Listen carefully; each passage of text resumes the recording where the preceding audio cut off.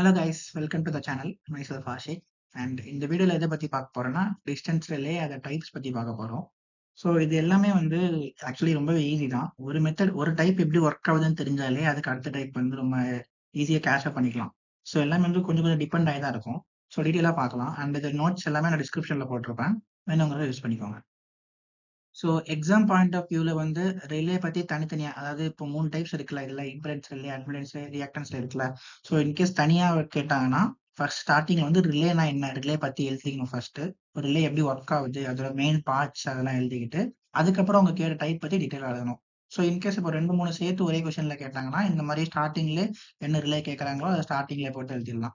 So மெயினாக பார்த்தீங்கன்னா ரிலேல வந்து மொத்தம் மூணு டைப்ஸ் இருக்குது. ஒன்று வந்து impedance relay more relay or admittance relay third வந்து react reactance relay so first வந்து இம்பிடன்ஸ் ரிலே பற்றி பார்க்கலாம். ஸோ இந்த இருக்கு ஈக்குவேஷன் இருக்குல்ல இந்த T equal to K I square plus K two V square plus K three V A cos theta minus five plus K four இந்த equation வந்து universal torque equation நம்ம எந்த ரிலே எடுத்தாலுமே அதுல வந்து இந்த டார்க் ஈக்குவேஷன் இருக்கும். இதுல இருக்க இந்த கான்ஸ்டன்ட் இருக்குல்ல K one K two K three K four இந்த பேராமீட்டரோட சைன் மாற அப்புறம் இந்த பரமோட வேல்யூஸ் டிபெண்ட் பண்ணி தான் ஒவ்வொரு ரிலேவும் டிபெண்ட் ஆயிருக்கு. ஸோ இந்த யூனிவர்சல் டார்க் ஈக்குவேஷன்ல வந்து இம்பிடன்ஸ் ரிலேக்கு என்ன கண்டிஷன்னா கே ஒன் வந்து பாசிட்டிவா இருக்கும் கே டூ வந்து கே டூ கே ஃபோர் நெகட்டிவா இருக்கும் கே த்ரீ வந்து ஜீரோவா இருக்கும்.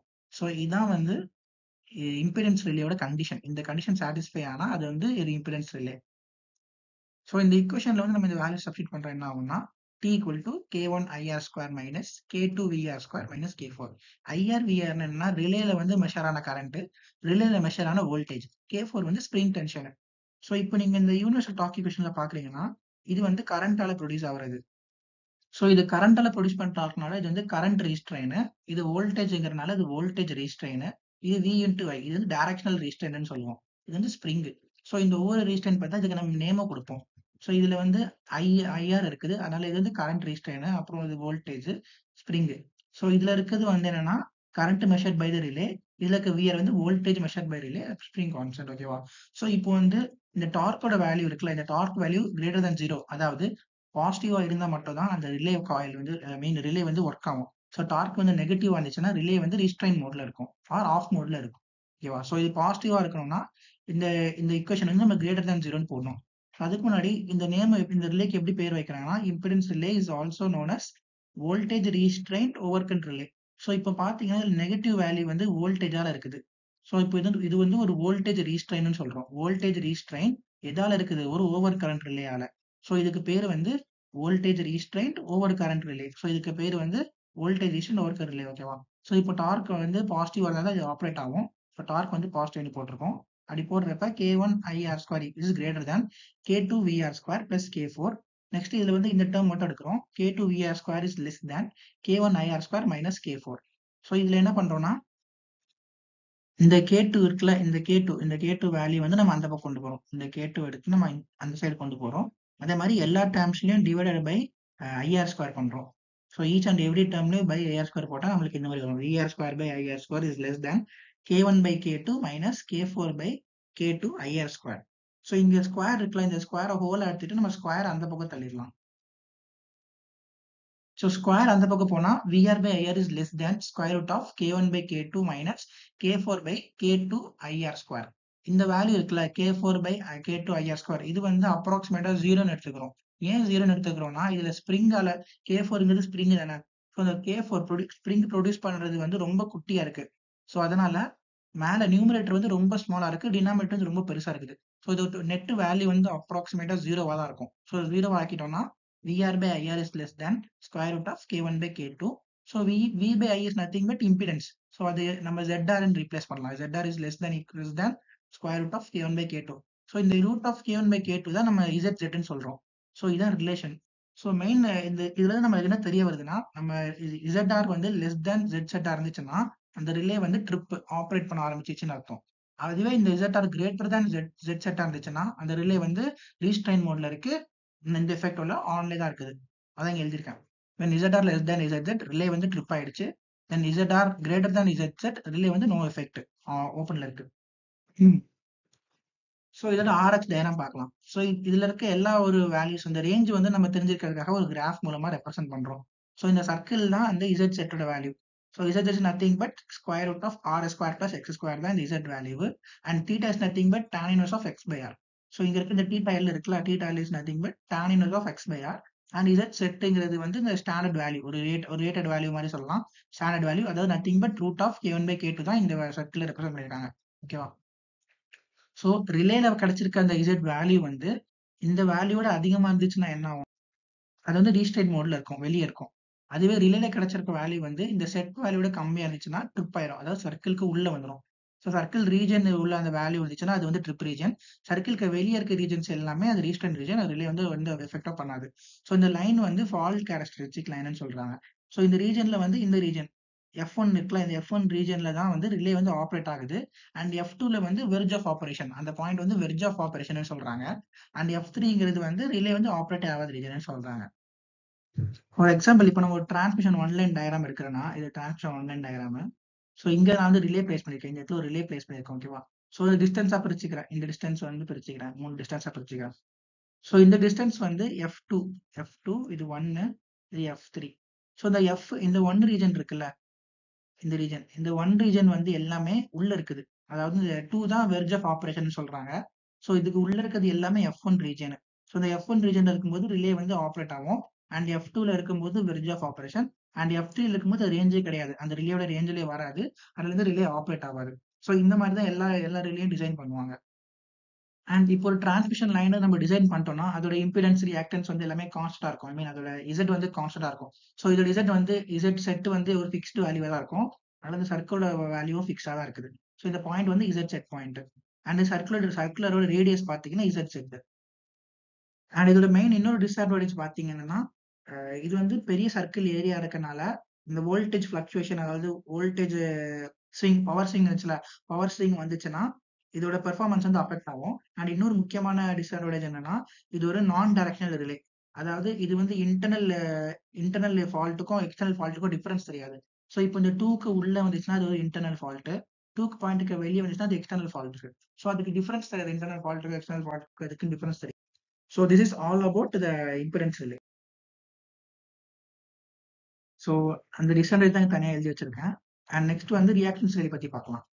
ஸோ ரியாக்டன் செல்லுக்கு நம்ம சேம் அந்த யூனிவர்சல் டார்க் இக்குவேஷன் எடுக்கிறோம். ஸோ இந்த universal torque equation nothing but K one IR square plus K two VR square plus K three into VR IR cos theta minus five plus K four so இது எப்படி ஈஸியாக remove பண்ணோம்னா first current use பண்ணுறோம் IR square next voltage use பண்ணுறோம் next அந்த வோல்டேஜை கரண்ட்டை multiply பண்ணி மல்டிப்ளை பண்ணி போட்டு காஸ் ஆஃப் தீட்டா மைனஸ் டவுனி போடுறோம். அவ்வளோதான் ஸோ இந்த மாதிரி கண்டிஷனுக்கு வந்து அதாவது ரியாக்டன்ஸ் ரிலேக்கு அந்த கே ஒன் வேல்யூஸ் என்னன்னு பார்த்தீங்கன்னா கே ஒன் வந்து பாசிட்டிவாக இருக்கணும் கே டூ ஜீரோவாக இருக்கணும் அதே மாதிரி K three and K four வந்து நெகட்டிவாக இருக்கணும்.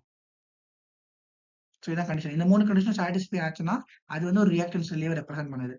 ஸோ இந்த வேல்யூ தான் சப்ஸ்டியூட் பண்ணால் நம்மளுக்கு ஃபைனல் என்ன வரும்னா torque equal to K one IR square minus K three into VR IR cos theta minus tau minus K four so இந்த ரியாக்டன்ஸ் லேக்கு ஒரு பேர் வைக்கலாம். ஸோ நம்ம எல்லா ரிலேக்கும் ஒரு கேர் பேர் வச்சோம்ல. இதனால இந்த இந்த இதுல இருக்க வேல்யூஸ் வச்சு தான் ஸோ இது வந்து ஒரு டைரக்ஷனல் ரிலே ரீஸ்ட்ரெயின்ட் ஸோ இது ஒரு டைரக்ஷனல் பார்ட்னால இது வந்து டைரக்ஷனல் ரீஸ்ட்ரெயின்ட் இது வந்து கரண்ட் தானே? ஸோ இது over current relay so reactance relay is also called as directional restraint over current relay directional restraint over current relay so இது டார்க் பாசிட்டிவ் அதாவது இது ஆக்டிவா இருக்கும். டார்க் பாசிட்டிவ்னா இந்த full equation greater than zero போடணும். கிரேட்டர் தன் ஜீரோ போட்டால் k1 ir square is greater than k3 vr ir cos of theta minus tau plus k4 and rearrange பண்றப்ப k3 vr ir cos theta minus tau less than k1 ir square minus k4 so இந்த ஈக்குவேஷன்ல வந்து ரெண்டு சைட்லுமே நம்ம IR ஸ்கொயரால் divide பண்றோம். IR ஸ்கொயரால் டிவைட் பண்ணோம்னா VR by IR cos of theta minus tau less than K one by K three minus K four by K three IR square அதாவது கே இந்த பக்கம் கொண்டு வந்துடும். இந்த கே த்ரீ இந்த பக்கம் கொண்டு வந்துடும். அண்ட் இந்த ஈக்குவேஷன்ல பாத்தீங்கன்னா இந்த டேர்ம் இருக்குல்ல K four by K three I square அது வந்து ஜீரோ ஆயிரும். சேம் முன்னாடி பார்த்த மாதிரி தான் இந்தியா அப்படிதான். இது வந்து கீழே இருக்க வேல்யூ வந்து பெருசா இருக்கும் நியூமீட்டர் வேல்யூ வந்து குட்டியா இருக்கும். ஸோ டோட்டலா நெட்டா இந்த வேல்யூ வந்து ஜீரோன்னு அசியூம் பண்ணிக்கலாம். அண்ட் நெக்ஸ்ட் வந்து VR by IR cos of theta minus tau is less than K one by K three and V by R is V by I is nothing but Z Z of Z R is Z R cos theta minus tau is less than K one by K three so இது இந்த ஈக்குவேஷன்ல நம்ம tau வந்து ninety degree assume பண்ணிக்கிறோம். ஒரு ஒரு just ஒரு study பர்பஸ்க்காக let's take tau is ninety degree so tau ninety இருந்துச்சுன்னா Z R of cos theta minus ninety is less than K one by K three So cos of theta minus 90 is nothing but sin theta. So z or sin theta is less than k1 by k3. So நம்ம impedance triangle தெரியல இதான் impedance triangle impedance ட்ரையாங்கிள்ல வந்து இங்க வந்து XOR இருக்கும் கீழே R இருக்கும். And இது இந்த ஹைப்போட்டனிஸ் வந்து இசட்ஆர் ஸோ இந்த ட்ரையாங்கிள்ல சைன் தீட்டா பாத்தீங்கன்னா opposite side by ஹைப்போட்டனிஸ்ல so sine that is nothing but XR by ZR so அதான் எழுதியிருக்கேன். Sine that is nothing but XR by ZR இதுல வந்து இந்த கீழக்கு டினாமேட்டர் வந்து இந்த பக்கம் கொண்டு போனோம்னா ZR sine theta equal to XR இந்த வேல்யூ நம்ம ஞாபகம் வச்சுக்கணும்.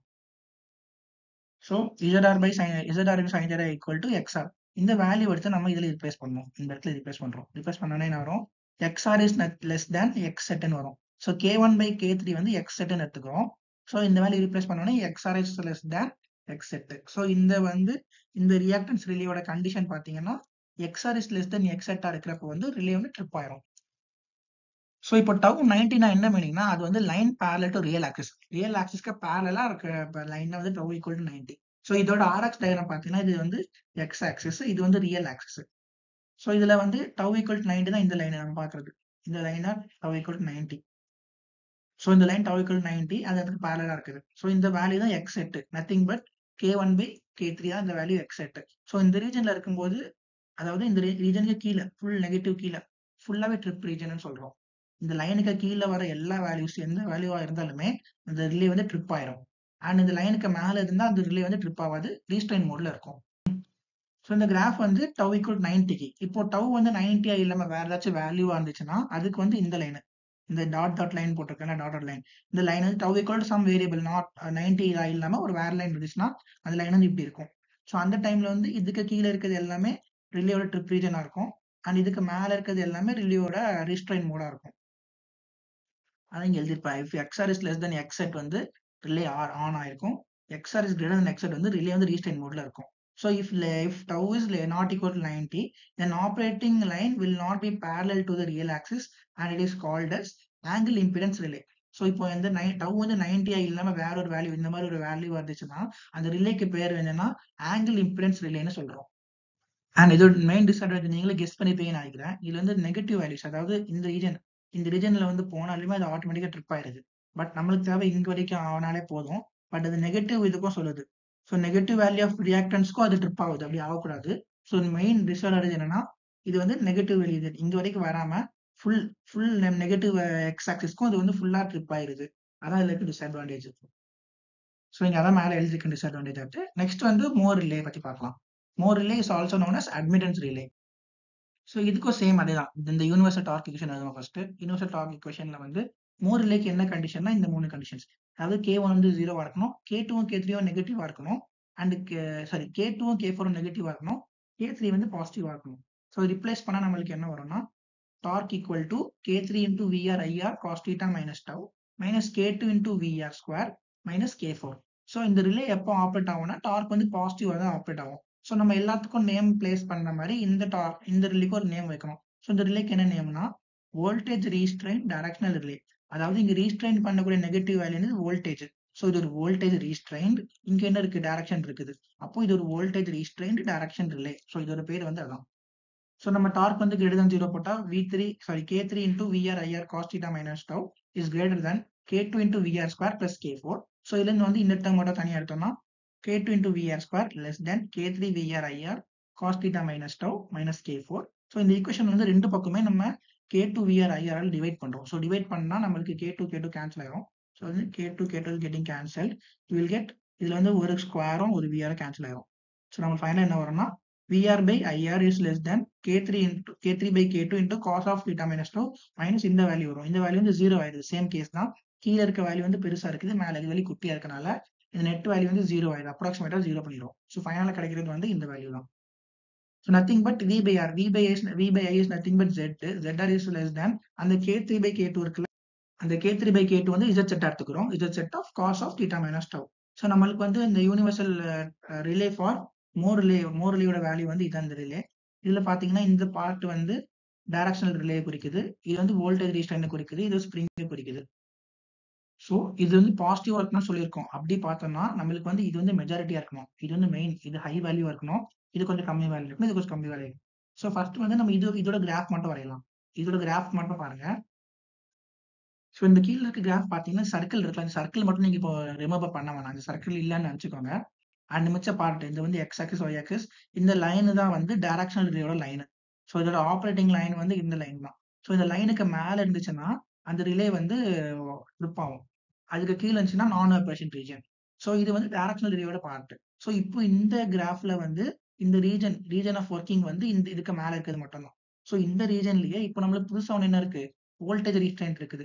ஸோ இந்த வோல்டேஜ் ரிஸ்ட்ரெயின்ட் இருக்கிறப்ப, இது மூலமா கொஞ்சம் ஏரியா வந்து ரிடியூஸ் ஆகும். கொஞ்சம் ஏரியா ஆஃப் ரீஜன் வந்து இன்ட்ரெஸ்ட் வந்து குறைஞ்சிரும். ஸோ அப்படி குறையிறப்ப இதோட கிராஃப் வரைஞ்சோம்னா ஒரு சர்க்கிள் ஃபார்ம் ஆகும். இதோட சர்க்கிள் வரைஞ்சோம்னா இந்த மாதிரி வரும். ஸோ சர்க்கிள் வரைகிறப்ப நம்மளோட நெட் நெட் எஃபெக்டிவ் ரீஜன் பார்த்தீங்கன்னா, சர்க்கிள்குள்ளே தான் இருக்கும். அதாவது நம்ம இந்த சர்க்கிள்க்கு உள்ள இருந்தா மட்டும் தான் ஆப்ரேட் ஆகும். வெளியே இருந்தா ஆப்ரேட் ஆகாது. அங்கே போட்டுருக்கோம். அண்ட் இந்த லைனுக்கு இந்த டேரக்ஷன் ரிலே லைன் இருக்குல்ல, அந்த லைனுக்கு 90 டிகிரி பெர்பெண்டிகுலர்னு வரைஞ்சோம்னா நம்மளுக்கு என்ன கிடைக்கும்னா, மேக்ஸிமம் டார்க் ஆங்கிள் லைன் கிடைக்கும். ஸோ மேக்ஸிமம் டார்க் ஆங்கிள் லைன்னா இதுக்கு 90 டிகிரி பெர்பெண்டிகுலரா வரையணும். அண்ட் இந்த ஆர் ஆக்சிஸ்ல இருந்து இதுக்கு மெஷர் பண்ற ஆங்கிள் தான் டவுன்னு சொல்றோம். நம்ம எல்லா ஈக்குவேஷன்லயும் பார்த்துருப்போம் theta minus tau theta minus டவுன்ட்டு அந்த டவு இஸ் நத்திங் பட் இந்த ஆர் ஆக்சிஸ்ல இருந்து அந்த எம்டிஏ ஆங்கிள் இந்த எம்டிஏன்னு சொல்றாங்க. எம்டிஏனா மேக்ஸிமம் டார்க் ஆங்கிள். அந்த எம்டிஏல வந்து எவ்வளோ ஆங்கிள் இருக்கோ, அதுதான் வந்து டவுன்னு சொல்றோம். ஓகேவா? ஸோ இப்போ ஆர்எஃப் டயக்ராம் பார்க்கலாம். ஒய் வந்து எக்ஸ், அப்புறம் எக்ஸ் வந்து ஆர். சர்க்கிள் வரைஞ்சிட்டோம். அதாவது இந்த லைனுக்கு கீழே வந்து ஆப்ரேட் ஆவாது. இந்த லைன் கீழே ஆப்ரேட் ஆவாது. அதே மாதிரி இந்த சர்க்கிள்க்கு அவுட் சைடு ரீஜனும் ஆப்ரேட் ஆவாது. ஸோ இந்த லைன் வந்து ஆஸ் சேம் தான் நம்ம எம்டி மேக்ஸிமம் டார்க் அந்த லைனு. இது வந்து டவு ஸோ நெக்ஸ்ட் இதுல வந்து ஃபால்ட் லைன் கேரக்டரிஸ்டிக்ஸ். இந்த ஃபால்ட் லைன் கேரக்டர் வந்து நம்ம அந்த ரிலே பார்த்தோம்ல எஃப்1, எஃப்2 அந்த டிஸ்டன்ஸ் குறிப்பிட்ட டிஸ்டன்ஸ். இந்த டிஸ்டன்ஸ் வரைக்கும் லிமிட் பண்ணிப்பாங்க இல்லையா அந்த லைன் தான் இந்த வந்திருக்காங்க. ஸோ இது ஆப்ரேஷன் ரீஜன்னா இந்த 0 டூ இந்த இந்த ரேஞ்சுக்குள்ள இருந்துச்சுன்னா ஆப்ரேட் ஆகும். பி பாயிண்ட்டுக்கு வெளியே போயிடுச்சுன்னா ஆப்ரேட் ஆகாது ஸோ இந்த சர்க்கிள் வந்து எப்படி சர்க்கிள் ஷேப்ல வந்துச்சுன்னா, நம்ம இந்த இந்த ஃபார்ம் இருக்குல்ல. Z set cos of theta minus tau இதுக்கு வந்து ஒவ்வொரு வேல்யூ நம்ம சப்ஸ்டியூட் பண்ணிக்கிட்டே வந்தோம்னா, நம்மளோட நெட் டயரம் வந்து இந்த சர்க்கிள் ஷேப்பாக தான் வரும். ஸோ இந்த சர்க்கிளுக்கு உள்ள தான் ரீஜன் ஆஃப் நம்ம ஆப்ரேஷன் சொல்கிறோம் ஸோ இதில் மெயின் அட்வான்டேஜ் பார்த்தோம்னா, இதுக்கு முன்னாடி பார்த்த நம்ம ரியாக்டன்ஸ் ரிலே இருக்குல்ல. ரியாக்டன்ஸ் ரிலே டிஸ்அட்வான்டேஜ் என்ன? நெகட்டிவ் ரீஜன் எல்லாமே ஆப்ரேட் ஆகும். அதாவது அது நல்லது கிடையாது. பட் இந்த ரிலே அப்படி கிடையாது. நெகட்டிவ் ரீஜன் வந்து ஆப்ரேட் ஆகாது ஸோ இது ஒரு மெயின் அட்வான்டேஜ் தான் எழுதியிருக்கேன். அண்ட் சர்க்கிளோட டேமேஜர் பார்த்தீங்கன்னா, nothing but Z set. Z set தான் சர்க்கிளோட டேமேஜ் அண்ட் உங்களுக்கு எல்லாம் புரிஞ்சிருக்கும்னு நினைக்கிறேன். இன்கேஸ் அது டவுட்னா வந்து கமெண்ட்ஸ் சொல்லுங்க. அண்ட் தேங்க்ஸ் ஃபார் வாட்சிங். பை.